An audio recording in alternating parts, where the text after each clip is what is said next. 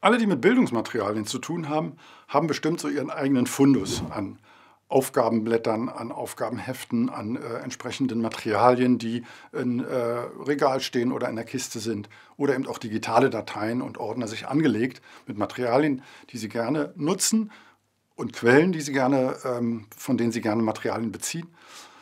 Die Frage ist allerdings, sind in diesen Materialien auch entsprechend OER, also frei lizenzierte Materialien enthalten. Offene Bildungsmedien, die man weiter verwenden und weiter bearbeiten und weitergeben kann. Im Folgenden soll es darum gehen, zu prüfen, ob in dem eigenen Fundus Materialien OER-tauglich sind oder was ihnen fehlt, um sie in OER umwandeln zu können. Dafür haben wir bei iRights Lab das OER-Prüfinstrument entwickelt. Das ist dazu da, sich diese Materialien genauer anzugucken und herauszufinden, was wäre nötig, sie in OER zu verwandeln oder vielleicht sind sie sogar schon OER-tauglich. Wie das Prüfinstrument funktioniert, wie man es anwenden kann, erkläre ich jetzt in vier Schritten. Im ersten Schritt überprüfen wir, ob in dem Material überhaupt Informationen vorhanden sind, wer es erstellt hat, welche rechtlichen Bedingungen eventuell herrschen, ob es Lizenzen oder Nutzungsbedingungen gibt. Oder es kann auch sein, dass in diesem Schritt sich herausstellt, es enthält gar keine Informationen dazu. Manchmal muss man auch auf die Rückseite gucken, vielleicht findet sich da äh, etwas oder am Ende eines Materials.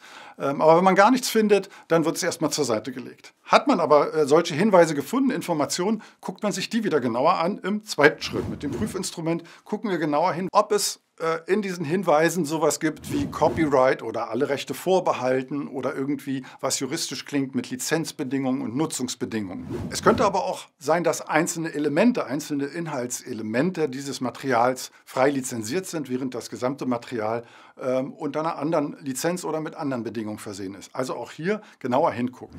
Im dritten Schritt, wenn wir tatsächlich entdeckt haben, dass dort freie Lizenzen äh, angewendet werden für das ganze Material oder für einzelne Elemente, schauen wir uns den Lizenzhinweis genauer an. Das heißt, wir gucken, sind für die jeweilige ähm, Creative Commons Lizenz alle Elemente enthalten, die so eine Lizenz braucht, weil das gehört zu den Lizenzbedingungen bei Creative Commons Lizenzen. Also CC BY, das heißt, steht da äh, die Lizenz selbst, steht der Name derjenigen oder desjenigen, der das Material erstellt hat oder äh, die Rechte daran hat immer verknüpft mit einem Link. Hierbei ist die Reihenfolge nicht so wichtig der einzelnen Elemente in der Lizenzbedingung. Hauptsache alle Teile der Lizenz sind dort enthalten. Im vierten Schritt erstellen wir dann ein Protokoll.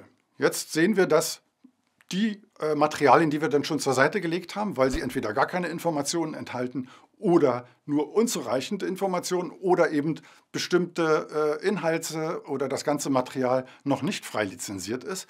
Da erstellen wir ein Protokoll und da drin steht, welche Defizite oder welche Möglichkeiten es gäbe, dieses Material in OER zu verwandeln, indem man einzelne Bestandteile mit frei lizenzierten äh, Inhalten ersetzt oder sie frei lizenziert. Darum könnte man in diesem vierten Schritt die Urheberinnen und Urheber oder die Herausgeberinnen ähm, und Herausgeber dieses Materials bitten, anrufen, eine Mail schreiben oder im Kollegium direkt ansprechen, um ihnen dann nahezulegen, das Material so zu überarbeiten, dass aus eben alle Rechte vorbehalten dann frei lizenziert und OER wird. Es könnte aber auch sein, dass äh, die Materialien, wenn sie geprüft wurden, ähm, dem OER-Konventionen schon entsprechen und als OER-tauglich von dem Prüfinstrument abgesegnet werden, wenn man so will.